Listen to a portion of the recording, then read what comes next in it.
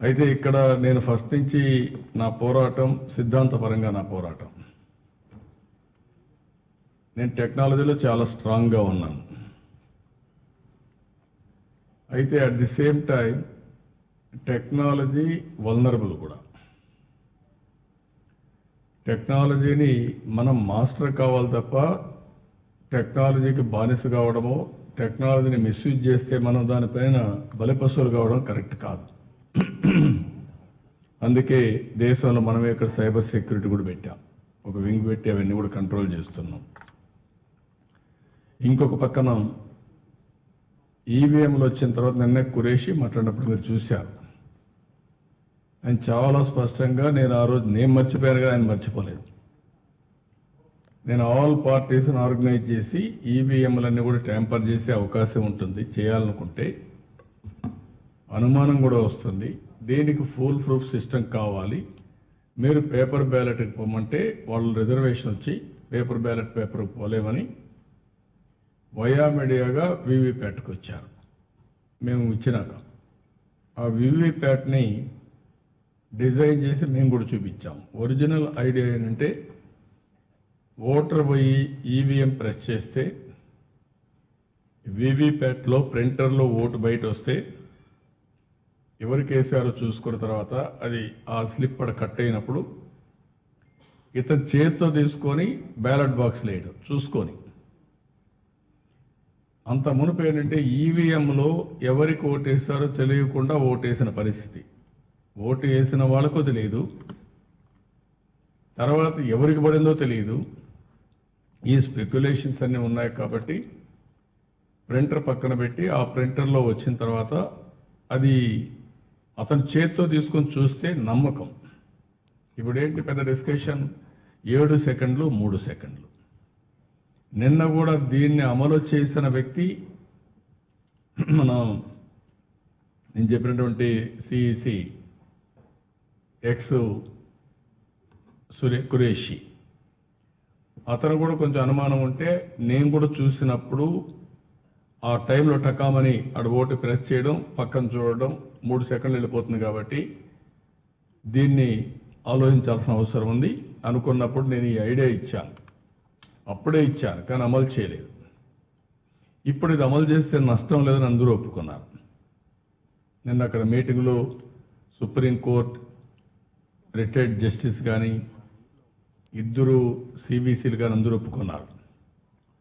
ఇది ఎవ్వరికి అబ్జెక్షన్ ఉండడానికి అవకాశం లేదు. ఏంటంటే మేము ఒకటి అడుగుతున్నాం ఎవరికైనా ఏ రాజకీయ పార్టీకైనా మోసాలు చేయాలనుకుంటే తప్ప నువ్వు ఓటేసినప్పుడు ఈవీఎం ప్రెస్ చేసినప్పుడు ఆటోమేటిక్గా ప్రింటర్లో ప్రింట్ వచ్చినప్పుడు అది తీసుకొని ఇంతవరకు కూడా పేపర్కి ఇచ్చి రూమ్లోకి పక్కన పోయేసి ఆ బూత్లోకి మనం ఓటేసి మళ్ళీ ఎత్తుకొచ్చి ప్రిసైడింగ్ ఆఫీసర్ ముందర బ్యాలెట్ బాక్స్లో వేసేవాళ్ళం. ఇప్పుడు వాట్ వీఆర్ ఆస్కింగ్? ప్రింటర్లో నుంచి ప్రింట్ ఏదో వచ్చింది కాగితం వచ్చింది. ఎవరికి వేస్తే తెలిసిపోయింది సాటిస్ఫాక్షన్ అయింది. దాంట్లో బ్యాలెట్ బాక్స్లు వేయమన్నాం ప్రాబ్లం ఉంది ఎవరికి? ఇప్పుడు ఉండే సిస్టమ్ కూడా మార్చే పని లేదు. ఈవీఎం ఉంటుంది ప్రింటర్ ఉంటుంది. దాన్ని చూసిన తర్వాత వాళ్ళు ఏమన్నారంటే ప్రపంచంలో ఇది ఒక మోడల్ అవుతుంది. కొన్ని దిక్కలు ఈవీఎంలు ఉన్నాయి కొన్ని దిక్కలు ఆ పేపర్ బ్యాలెట్లు ఉన్నాయి. ఇది రెంటికి సమాధానం అవుతుంది ట్రాన్స్పరెన్సీ వస్తుంది అకౌంటబిలిటీ వస్తుంది. మనం స్పీడ్గా కూడా ఏదైనా కావాలంటే కూడా పెట్టుకోవచ్చు. కౌంట్ చేయాలని ఎప్పుడైనా సరే వెరిఫికేషన్లో హండ్రెడ్ పర్సెంట్ ఉంటుంది. ఇది పెద్ద నష్టం లేదని చెప్పి చాలా స్పష్టంగా చెప్పాను నిన్న కూడా ఆయన అన్నాడు. ఒకప్పుడు ఒక న్యూస్ పేపర్ అంత బ్యాలెట్ పేపర్ ఉంటే అప్పుడే ఇరవై నాలుగు గంటల్లో మనం కౌంట్ చేయగలిగితే రీకౌంటింగ్తో కూడా చిన్న స్లిప్పులు కౌంట్ చేయడానికి ఎందుకు టైం పడుతుందని సపోర్ట్ చేసే పరిస్థితికి వచ్చారు. అందుకే ఈ దీని మీద మీరు ఒకసారి చూసినప్పుడు ఫస్ట్ టైం నేను వేసినప్పుడు రెండు వేల పదమూడులో అప్పటి చీఫ్ జస్టిస్ సదస్యం ఇది మొత్తం తయారు చేసిన తర్వాత కూడా ఆయన కోర్టుకు వెళ్ళింది. వెళ్ళినప్పుడు చాలా స్పష్టంగా చెప్పారు. ఇది voter verifiable paper audit trail VVPAT. Voter తాను వేసిన ఓటు తాను అనుకున్న వాళ్ళకు పడిందా లేదా తెలుసుకునే హక్కు. ఈవీఎంలో ఎవరికి ఓటేశారో ఊహించుకుంటున్నాడు. బటన్ నొక్కుతున్నాడు ఎవరికి పోయిన తెలియదు.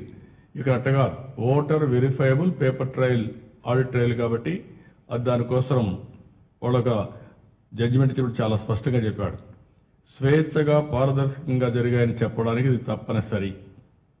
పారదర్శకమైన విధానం ద్వారా సగటు ఓటర్కు విశ్వాసం కల్పించే రీతిలో ఈవీఎంలకు వీవీప్యాట్ జడ్జి చేయడం ద్వారా ప్రజాస్వామ్య వ్యవస్థలో గణనీయమైన పాత్ర వహిస్తాయి అని ఆయన ఇచ్చిన తీర్పు.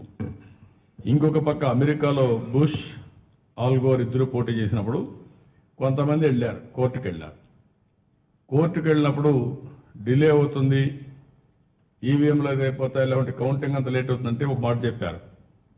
విశ్వసనీయతకు వెసులుబాటుకు మధ్యన ఎంచుకోవాలని అనుకున్నప్పుడు ప్రజాస్వామ్య వ్యవస్థల పరిరక్షణ దృష్టిలో ఉంచుకుని వాటిపై ప్రజల విశ్వాసాన్ని పెంచుకోవడానికి ఇబ్బంది అయినప్పటికీ విశ్వసనీయత కోసం అదనపు ప్రయత్నం చేయడం అవసరం.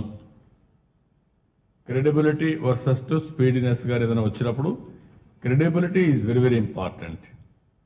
మేము ఈ విషయంలోనే గడిచిన పదేళ్ళుగా ఫైట్ చేస్తున్నాం. నేను అధికారంలో ఉన్నప్పుడు ఫైట్ చేశాను చేస్తున్నా అపోజిషన్లో ఉన్నప్పుడు ఫైట్ చేస్తూనే ఉన్నాం. వాట్ ఈస్ ది ప్రాబ్లం వీళ్ళకు? ఎలక్షన్ కమిషన్ ప్రాబ్లం ఏంటి? అది వాట్ వీఆర్ ఆస్కింగ్ ఒకే ఒక బూత్ను శాంపుల్ కింద పెట్టారు. అది కూడా ఎవరికి తెలిసేది కాదు. మేము రిప్రజెంటేషన్ ఇరవై మూడు రాజకీయ ఇరవై రెండు రాజకీయ పార్టీలు ఇచ్చాం. ఇరవై మూడు రాజకీయ పార్టీలు. ఇరవై మూడు రాజకీయ పార్టీలు ఇచ్చిన తర్వాత వాళ్ళు ఒప్పుకోకపోతే సుప్రీంకోర్టుకి వెళ్ళాం. సుప్రీంకోర్టులో ఐదు బూతులు కౌంట్ చేయడానికి యాక్సెప్ట్ చేశారు. ఆ టైంలోనే కంప్లీట్ చేయండి ఫైవ్ బూత్స్ వరకు చేయాలి అదే రిసోర్స్ ఉపయోగించుకొని. ఇక్కడ వీళ్ళ యొక్క నిబంధన ఏంటి? ఐదు బూతులు ఇది చేసినప్పుడు ఈవీఎం కౌంటింగ్ పద్నాలుగు టేబుల్స్ పెట్టి చేస్తున్నారు. ఇందుకు కూడా మీకు చెప్పాను. ఎవరు చేస్తున్నారు? Counting officer counting age and also observer overall supervise చేస్తున్నారు. అదే ఇక్కడికి వచ్చేది వివిప్యాట్ల కౌంటింగ్ ఏమంటున్నారు? అబ్జర్వర్ రిటర్నింగ్ ఆఫీసర్ సమక్షంలోనే చేయాలి. పేపర్ స్లిప్పులు వీళ్ళు చేయాలి. Returning officer observer machine counting మాత్రం వాళ్ళు చేస్తారు. అది more complicated technology machine on చేయడం ఆఫ్ చేయడం ఎన్ని ఉంటాయి. ఇక్కడ ఏముంది? పేపర్ వస్తుంది పైన పేరు ఉంది కింద సింబల్ ఉంది. ఎవరి కేసు ఆ పక్క పక్క పెట్టుకోవడం కౌంట్ చేయడం అనౌన్స్ చేయడం. ఇది వెరీ సింపుల్ దాన్ని కాంప్లికేట్ చేసి ఆరు రోజులు అయిందని చెప్పి ఆరు రోజులు అవుతుంది కాబట్టి మేము చేయలేమని అడ్డం పెడితే సుప్రీంకోర్టుకి అప్పుడు పెట్టేశారు అదే తప్పు పట్టాను నిన్న. నేను తప్పు పడడం కాదు. ఆ వ్యవస్థను రన్ చేసే వ్యక్తులే తప్పుబట్టారు పట్టారు రన్ చేసిన వ్యక్తులు. ఈ వివిప్యాట్కు రావడానికి ఎవరైతే ఆద్యులో వాళ్ళు కూడా ఎలక్షన్ కమిషన్ తప్పుబట్టే పరిస్థితి వచ్చింది. అది మా పోరాటం ఈరోజు. కానీ లాస్ట్లో ఏమంటున్నారు? యాభై పర్సెంట్ చేయొద్దని చెప్పలేదు సుప్రీంకోర్టు కూడా. మేము ఐదు బూతులు ఇచ్చామన్నారు అంతే. మేమేం అడుగుతున్నాం? ఆల్ పార్టీస్ యాభై పర్సెంట్ మీరు కౌంట్ చేయమంటున్నాం. మీకు టైం లేదని అవసరమైతే కొంతమంది civics civil society hundred percent చేయమంటున్నారు. మేము అడిగింది కనీసం యాభై పర్సెంట్ చేయమన్నాం. మూడోది ఇది అయిన తర్వాత ఈవీఎంలు కౌంట్ చేసిన తర్వాత లాస్ట్లో వీవీప్యాట్లు కౌంట్ చేస్తారు లాటరీ ద్వారా. ఆ లాటరీ కూడా కొంతమంది అంటే కరెక్ట్ కాదు. లాటరీ కూడా స్లిప్పులు పెట్టి ఒక బాక్స్లో పెట్టి బాగా ఎండి కూడా కలిపి మిక్స్ చేసి ర్యాండమ్ కింద తీసుకొని పికప్ చేసి ఆ లాటరీ ద్వారా వచ్చిన బూతులు తీసుకొచ్చి కౌంట్ చేయాలి. కౌంట్ చేసిన తర్వాత డిస్క్రపెన్సీ వస్తే what is the answer discrepancy వస్తే వీవీప్యాట్ ఈస్ ఫైనల్ అంటారు. మేము అదిగా కోరింది. డిస్క్రపెన్సీ ఉంటే మీరు తప్పకుండా హండ్రెడ్ పర్సెంట్ కౌంటింగ్ ఆ కాన్స్టిట్యూన్సీకి వెళ్ళాలి. కొంతమంది కొన్ని అనుమానాలు ఉండేది దీంట్లో. ఒకవేళ ఈవీఎంఎల్ని వీవీప్యాట్ని రెండు మిషన్లు కాంపాక్టబిలిటీ తెచ్చి మనం చూడకుండా వచ్చేస్తున్నాం కాబట్టి ఇది కూడా చేయడానికి కూడా అవకాశం ఉంటుంది కదా అని కూడా అనుమానం ఉంది. మీరు ఏదైతే ఈవీఎంలో ప్రెస్ చేశారో మీరు ప్రెస్ చేసింది ఒక సింబల్ అయినా ప్రింటర్ మాత్రం వాళ్ళకి ఏది కావాలనో అదే కూడా తయారు చేసే అవకాశం ఉంటుంది కూడా కామెంట్ చేస్తున్నారు. దాన్ని నేను ఇప్పుడు మాట్లాడడం లేదు. కానీ భవిష్యత్తులో ఏంటంటే ఒకటే గుర్తుపెట్టుకోవాలి మనం. ఆ స్లిప్ తీసుకొని చూసిన తర్వాత బ్యాలెట్ బాక్సులు వేస్తే హండ్రెడ్ పర్సెంట్ కాన్ఫిడెన్స్. అది కంపల్సరీగా చేయవలసిన అవసరం ఉంది. వన్స్ అది వస్తే ట్రాన్స్పరెన్సీ వస్తుంది అప్పుడు ఇబ్బంది ఉండదు. అది సాధించే వరకు అవసరమైతే ఇంతవరకు గైడ్ లైన్స్ ఇమ్మన్నాం మనం పోయినప్పుడు మేము చెప్పాం ఇరవై రెండు పార్టీలు చెప్పాం ఇంతవరకు గైడ్ లైన్స్ ఇవ్వలేదు. నిన్న పోయినప్పుడు నేను అడిగాను ఈరోజు రేపో చెప్తామని చెప్పి చెప్పారు. ఇంకా మాకు అది కూడా రాలేదు. మళ్ళీ revise చేయమన్నాం. Our demand is very clear discrepancies ఉంటే అవన్నీ తీసుకొని ఆన్లైన్లో పెట్టండి. విశ్వసనీయత పెంచవలసిన బాధ్యత ఎలక్షన్ కమిషన్ పైన ఉంది.